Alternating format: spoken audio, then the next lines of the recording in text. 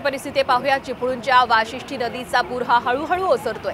नदीचं पाणी हे बाजारामध्ये शिरल्यामुळे दुकानदारांचं मोठं नुकसान झालेलं आहे. बाजारातील पाणी आज हळूहळू ओसरताना पाहायला मिळत आहे चिखल साफ करण्याचं सुद्धा काम सुरू आहे. कालची आणि आजची परिस्थिती आपण या दोन्ही दृश्यांच्या माध्यमातून पाहू शकतो. चिपळूणमधली ही महत्वाची दृष्ट आहे. वाशिष्ठी नदी पूर आलेला आहे दुथडी भरून वाहतीये आणि आज मात्र आता हळूहळू जे बाजारामध्ये पाणी शिरलं होतं नदीचं ते हळूहळू ओसरत आहे मात्र सर्वत्र चिखलच पाहायला मिळतंय. आता बाजारामध्ये साचलेला हा जो चिखल आहे तो ते साफ करण्याचं काम मात्र सध्या सुरू झालेलं आहे. मुसळधार पावसामुळे काल चिपळूण परिसराला पुराचा वेढा पडलेला होता आणि बाजारपेठेमध्ये पूर्णपणे पाणी शिरलं होतं.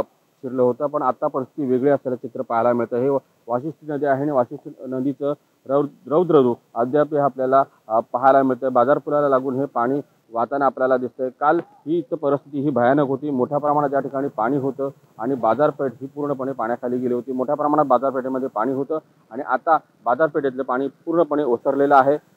मात्र चिखल हा अद्याप या ठिकाणी कायम असल्याचं पाहायला मिळतंय. आणि चिखल साफ करण्याचं काम कुठेतरी आता के- केलं केलं जातं नगर परिषदेकडून.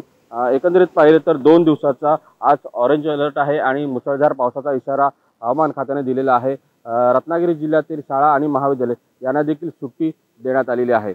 अमोल साम साम टीव्ही चिपळूण